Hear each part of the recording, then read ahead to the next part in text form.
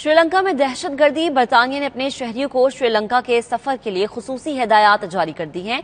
शहरियों को गैर ज़रूरी सफ़र से गुरेज करने की हिदायत की गई है। तफसला जानते हैं ब्यूरो चीफ यू के गुलाम हुसैन अवान की रिपोर्ट में।